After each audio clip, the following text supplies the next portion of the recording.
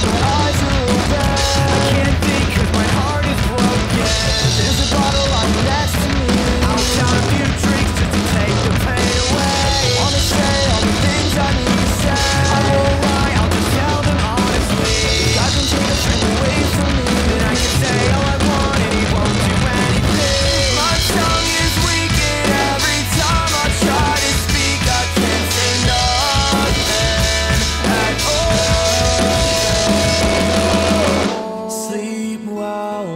friend. There will be another moment we'll meet again. Just let it go.